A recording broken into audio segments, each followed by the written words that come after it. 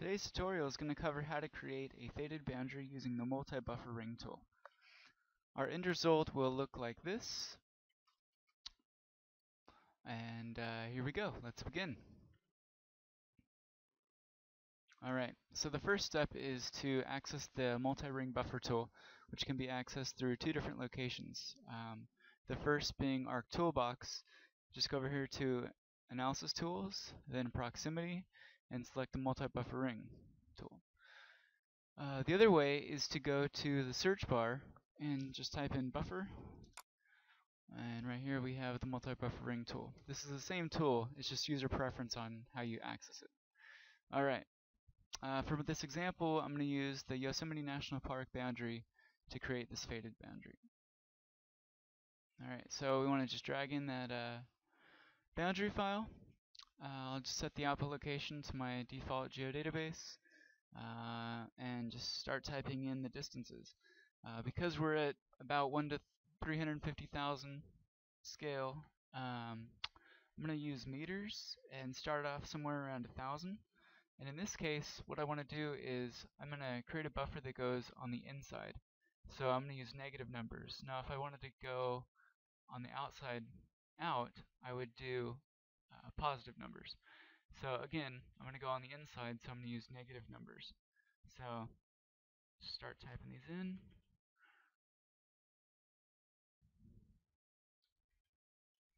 And once I hit about 500, I want to start going down in increments of 50 until I reach about uh, 150 or so, or 100. That way it's a smooth transition.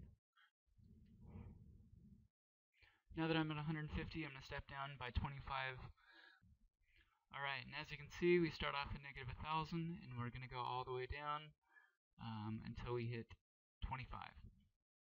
Alright, the next step, what you want to do is set the buffer unit down to, in this case I'm going to pick meters, because we're at the scale.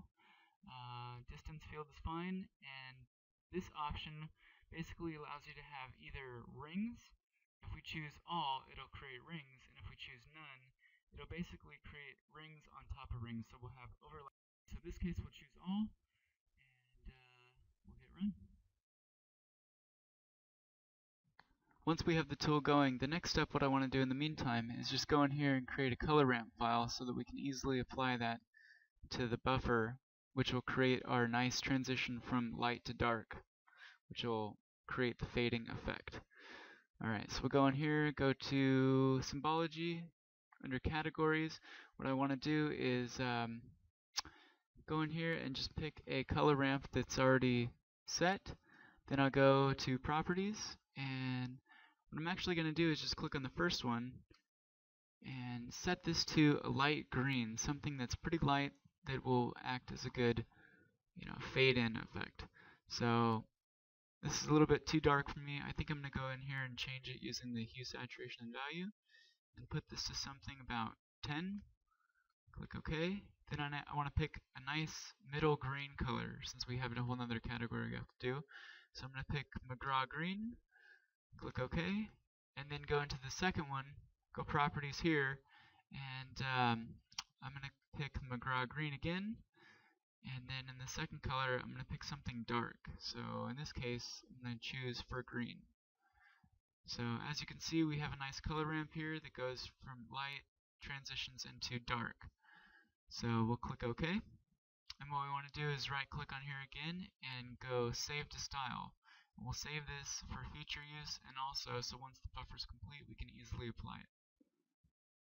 Once our buffer is complete, the next thing what we want to do is take that color ramp we just created and apply that to the new buffer. So go in here and uh, we'll choose the color ramp we picked. Click OK, and as you can see, there's our buffer. Nice faded boundary. Thank you very much.